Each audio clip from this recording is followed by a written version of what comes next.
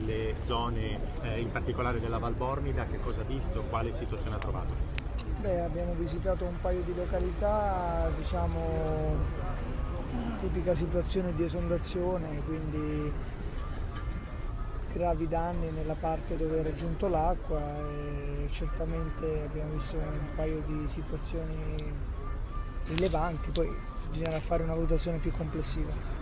Ecco, per quanto riguarda i problemi alle linee elettriche, agli acquedotti, eh, che cosa vi hanno detto i sindaci e soprattutto pensa che gli interventi riusciranno a risolvere queste situazioni in tempi rapidi?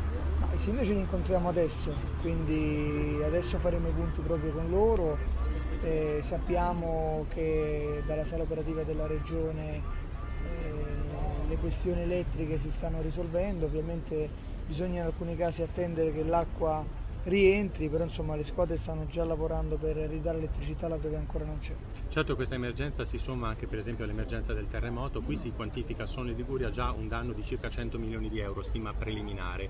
Pensa che queste cifre, questi risarcimenti potranno arrivare in tempi rapidi?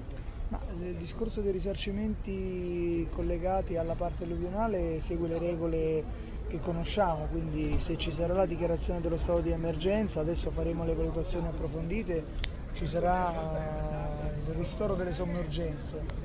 Per i risarcimenti, se intendiamo ai privati e quant'altro, bisogna aspettare la cosiddetta fase 2, quindi questo è quello che valeva prima, il terremoto è un altro discorso, eh, c'è un decreto legge, c'è un'attività diversa, questo è il motivo per cui stiamo anche lavorando sull'analisi della, della legge di protezione civile oggi al Senato. Una situazione analoga a quella del Piemonte, la situazione qual è al momento in Piemonte? Sì, simile, diciamo ovviamente il Piemonte ha avuto anche per tipologia di corsi d'acqua danni importanti, tutta l'alta valle eh, del Tanaro ha, ha oggettivamente creato gravi problemi, anche lì aspettiamo di concludere la giornata di oggi perché siamo ancora in una fase di coda dell'emergenza, quindi è bene distinguere un attimo le fasi, chiudiamo la coda dell'emergenza e poi sistemeranno i danni per bene. Ecco, quindi Liguria infatti i fiumi hanno un regime torrentizio per quanto riguarda il Po e i suoi affluenti, la situazione è diversa, voi temete ancora